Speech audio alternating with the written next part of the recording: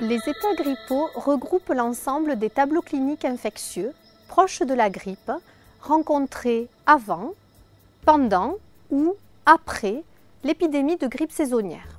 Nous, pharmaciens, pouvons intervenir dans trois types de demandes au comptoir. Premièrement, des patients qui recherchent une protection pendant toute la période hivernale, soit parce qu'ils se sentent plus fragiles, soit parce qu'ils sont plus en contact avec les virus. Des patients recherchant une protection car un membre de leur entourage proche est malade et veulent limiter les risques de transmission. Des personnes malades qui recherchent un traitement curatif pour soigner leur état grippal débutant ou installé.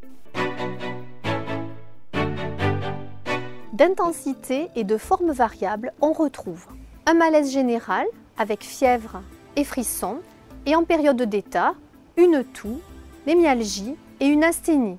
L'asthénie pouvant durer pendant plusieurs semaines. Il est important de noter qu'aucun examen complémentaire, biologique ou radiologique, n'est nécessaire pour diagnostiquer un état grippal en première intention et chez un individu sans facteur de risque. Cependant, chez l'enfant, le diagnostic est plus difficile car soit sans symptômes ou soit d'emblée très sévère. Des gestes simples sont à conseiller pour limiter les risques de transmission comme limiter le contact entre personnes, surtout avec les personnes les plus fragiles, tousser en se couvrant la bouche, éternuer en se couvrant le nez, se moucher avec un mouchoir à usage unique jeté dans une poubelle avec un couvercle et se laver les mains souvent en utilisant des gels hydroalcooliques. Il faut manger varié, avoir une alimentation riche en fruits et en légumes qui va vous apporter des vitamines et des minéraux, dormir suffisamment, aérer vos pièces même en plein hiver. Il faut utiliser des humidificateurs avec des huiles essentielles comme le ravensar ou le pin. Ne pas surchauffer vos pièces. 20 degrés dans les pièces à vivre, 18 degrés dans les chambres.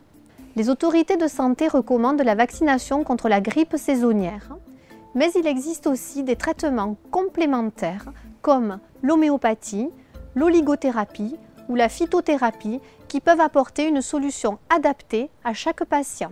À titre curatif, ces mêmes traitements peuvent compléter les traitements allopathiques comme les médicaments contre la douleur ou les médicaments contre la fièvre.